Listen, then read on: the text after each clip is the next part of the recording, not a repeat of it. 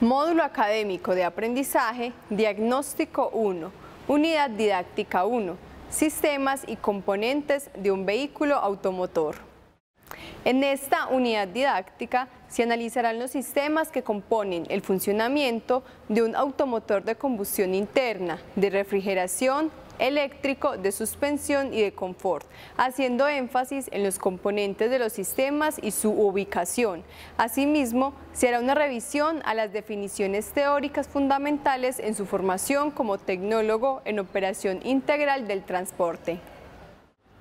Los sistemas y componentes de un vehículo automotor de combustión interna, en la mayoría de los automotores están conformados por alrededor de 1.500 piezas, que a la vista de un tecnólogo o un técnico principiante podrían parecer un mundo confuso. Sin embargo, conocer los principales sistemas del vehículo resulta esencial para entender el funcionamiento del automotor. Entre las actividades para esta unidad se tiene la inicial en la que hará una encuesta para determinar qué tanto sabe del tema y la actividad final con un cuestionario y el portafolio. Además se llevarán a cabo las siguientes actividades de enseñanza, aprendizaje y evaluación específicas.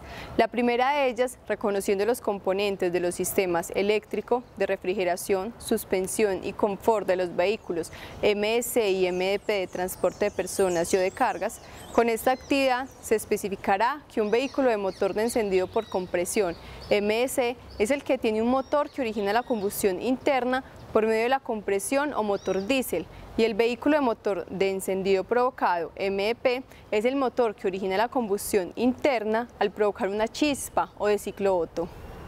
La segunda actividad denominada ubicando los componentes, los sistemas eléctricos de refrigeración, de suspensión y de confort de los vehículos MS y MDP de transporte de personas y o de cargas, abordarán aspectos como los elementos de funcionalidad de los componentes de los sistemas de un automotor de combustión interna.